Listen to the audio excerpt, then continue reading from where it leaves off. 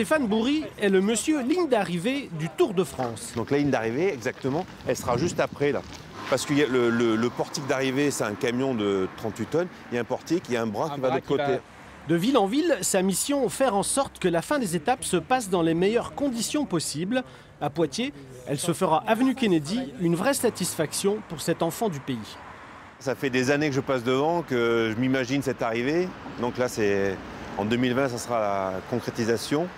Et euh, c'est vrai que ça fait une très belle ligne droite pour les coureurs, un beau parcours en ville.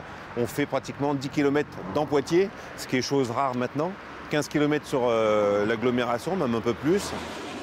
La 11e étape de 167 km ira de Châtelaillon à Poitiers, une des plus rapides du Tour.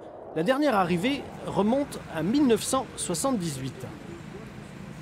Ils nous ont construit euh, un parcours qui permettra de traverser euh, tout Poitiers, mais qui à la fois permettra quand même la circulation euh, et au poids de vin de traverser la ville, mais qui permettra surtout d'être ce bel événement populaire où sur tout le parcours, les poids de vin pourront assister eux-mêmes au Tour.